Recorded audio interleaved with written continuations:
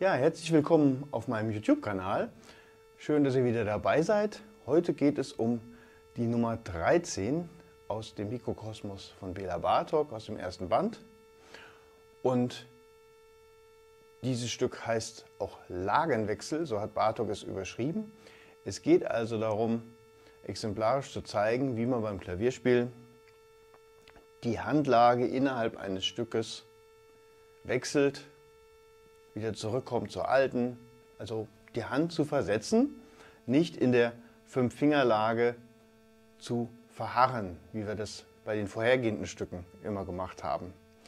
Ich zeige euch heute die linke und rechte Hand getrennt und im nächsten Video zeige ich euch, wie das Stück dann mit beiden Händen gleichzeitig gespielt funktioniert. Ja, fangen wir einfach mal an. Ich blende oben mal die Noten ein. Wenn ihr die rechte Hand seht, der Daumen auf dem C, eigentlich eine ganz, ganz bekannte Handlage jetzt, die haben wir schon ganz häufig gehabt. Erster Finger auf C, der fünfte Finger dann auf dem G. Ich habe die Töne hier mm, auf meiner Tastatur wieder äh, farbig gemacht. Wahrscheinlich braucht ihr das mittlerweile gar nicht mehr, aber ich habe es jetzt einfach doch nochmal so gemacht. Das schadet jetzt ja gerade nicht. Wobei ich die Farbe in den Noten jetzt schon anfange wegzulassen. Ich glaube, das ist jetzt nicht mehr so äh, ganz entscheidend. Das C und das G wenigstens im, im Geigenschlüssel, das habt ihr euch sicherlich gemerkt. Und in der C-Lage im Bassschlüssel ist es ja auch nicht mehr ganz so schwierig jetzt in der kleinen Oktave. Ja, dann spiele ich euch mal die rechte Hand vor, wie sie da steht. Den Daumen lege ich auf das C1. Ja, ganz eine Handlage, die wir jetzt schon ganz häufig gehabt haben. In der Mitte vom Mittel C aus nach oben, Dreiertakt, drei Viertel in jedem Takt. Und ich spiele es euch mal so vor.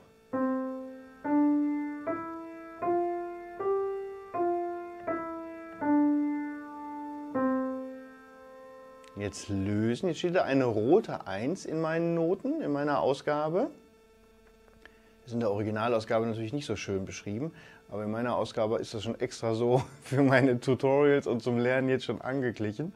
Also die rote 1 soll bedeuten, den ersten Finger jetzt versetzen auf das G, auf die Note, die da steht.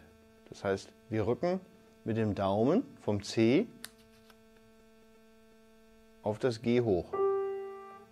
Da waren wir vorher in der C-Lage. Und jetzt kommt sozusagen die G-Lage. Erster Finger spielt weiter. Das ist dann schon der Lagenwechsel.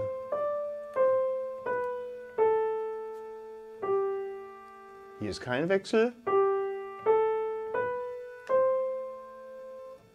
Jetzt sind wir auf dem vierten. Ich schlage ihn nochmal an, damit man das sieht. Auf dem C angekommen mit dem vierten Finger. Hier steht die rote 5. Das heißt, wir müssen wieder auf das G1 zurück, aber diesmal mit dem fünften Finger. Also runterrutschen. Ich zeichne mir den Weg. Da war das C, ja manchmal ist das Papier im Weg. Da ist das C, vierter Finger. Und dann runterrutschen auf. Ihr könnt es natürlich das G auch mit dem Daumen spielen, aber dann könnt ihr das Stück nicht weiterspielen. Ne? Dann, dann hängt man hier feste. Also ist der Lagenwechsel da durchaus sinnvoll runtergehe mit dem fünften Finger. Und da geht es weiter in der C-Lage, nur der fünfte fängt an. Und am Schluss sind wir wieder in der C-Lage mit dem ersten Finger. Beginnend. Es gibt also zwei Stellen in dem Stück, in dem ihr die Handstellung versetzt, indem ihr nicht einfach in der C-Lage verharrt, wie man das aus den allerersten Stücken noch kennt, in einer Handstellung bleiben, sondern da ist der Versatz drin. Das forciert natürlich ein bisschen das Notenlesen. Man muss dann schon sehr schnell vorauslesen und wissen, zack, da kommt der Ton. Den kann ich in dieser Handstellung nicht erreichen, aber da steht ja eine Zahl drüber, also nehme ich den Finger auf diesem Ton. Dafür muss man den Ton natürlich relativ schnell lesen können. Andererseits kann man es auch einüben, so wie man ja alles letztendlich einstudiert und einübt. So kann man auch sowas wieder lesen. Vieles läuft dann auch übers Gedächtnis später, wie bei jedem anderen Stück auch. Trotzdem kann man da jetzt mal ganz Piano sozusagen erstmal dran gehen und da erstmal ein Gefühl für zu kriegen. Ähm, ich spiele einfach nochmal die rechte Hand vor zum Üben, damit ihr das wieder seht. Ein, zwei, ein, zwei, Pause versetzen. Ich mache es mal ganz deutlich so, den Versatz. Ein, zwei, ein, zwei, drei bleiben. Ein, zwei, drei versetzen. Zwei, drei.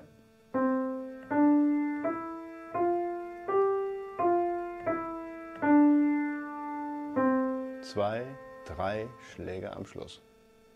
Ja, diese kleinen rhythmischen Sachen sind euch ja jetzt schon geläufig mit halben, Viertel, Viertelpause. Ich glaube, das ist jetzt nicht mehr so das, das Schwierige. Natürlich am Anfang, wenn ihr da Zeit braucht für den Lagenwechsel, könnt ihr den Rhythmus nicht so streng durchziehen. Dann spielt es also erstmal da, wo ihr den Rhythmus machen könnt, wie hier zum Beispiel. So. Und jetzt erstmal überlegen, wenn man noch überlegen muss, ah, das G und dann mit dem ersten Finger. Ne? Auch die Taste ruhig erstmal unten lassen, das C, nicht die Pause spielen, sondern erstmal die Taste lassen. So, mit dem Daumen, der Daumen, das ist ja, den habe ich ja gerade schon. Und jetzt mit dem ersten Finger nach oben gehen auf das G. Dass man nicht die Handlage völlig verliert. Weil viele machen so, ah, jetzt muss ich ja loslassen. Dann lassen sie los und dann, äh, ja, wo soll ich denn jetzt? Dann ist irgendwie alles durcheinander. also, wenn ihr da oben gespielt habt, ruhig bleiben. und dann in Ruhe lesen. G, fünfter Finger, wo ist das G? Ah, das müsste dieses sein. Genau, gehe ich da mit dem fünften hin.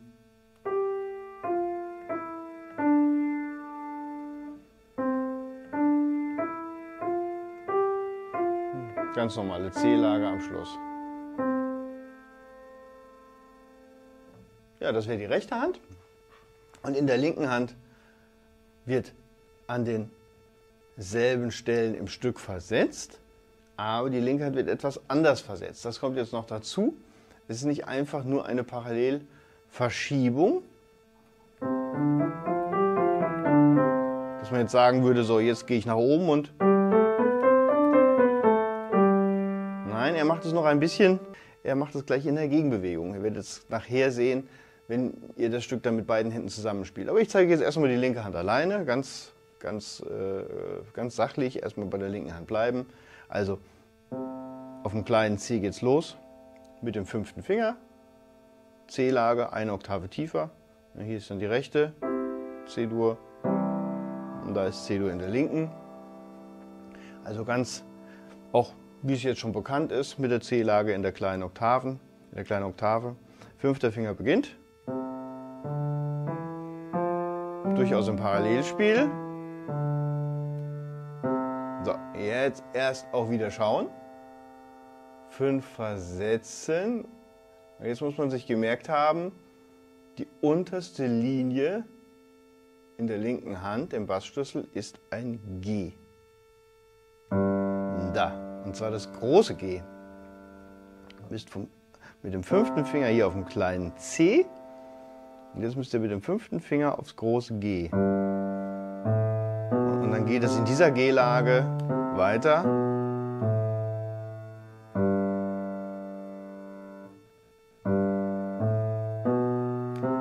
Und jetzt wieder schauen, ruhig Zeit nehmen an den Stellen. Erster Finger, rote Zahl. Und jetzt muss man wissen, da oben, diese Note, die jetzt kommt, ist ein G. Wir sind also wieder in der C-Lage angekommen.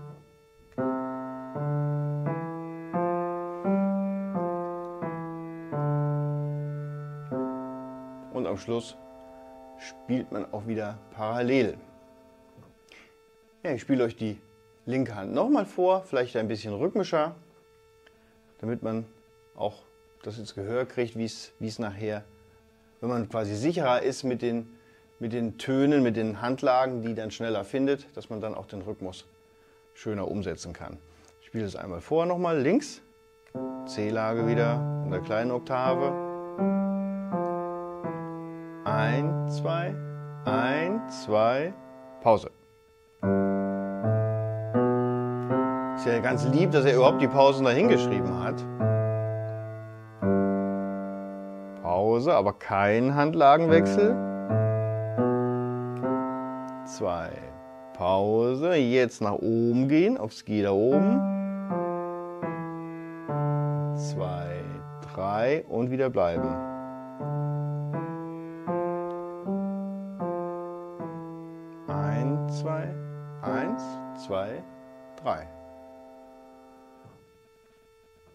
Ja, so ist es eigentlich schon ein ganz schöner Ansatz. Ich glaube, wenn ihr das so euch klar macht und bewusst übt, dann ist das Stück gar nicht mehr so kompliziert. Hm. Eigentlich habt ihr jetzt schon die Grundlagen für dieses Stück und da habt ihr jetzt, würde ich schon sagen, fast schon Schwierigeres gespielt. Also wenn man jetzt mal die Handlage abzieht, diesen Hand, den Lagenwechsel abzieht bei der Nummer 13, ist es gar nicht so komplex, weil es auch vom Notenlesen nicht so schwierig ist ne, in, in, der C-Lage. Es kommt nachher so ein, ein Stück mit Lagenwechsel, wo dann auch schwarze Tasten dabei sind. Dann wird es nochmal so ein bisschen gemeiner. Aber so, das kann man erstmal ganz schön lernen. Trotzdem, damit das Video jetzt nicht so lang wird, mache ich im nächsten Video dann mit dem Zusammenspiel weiter. Ja, schön. Viel Spaß beim Üben und bis zum nächsten Mal. Tschüss.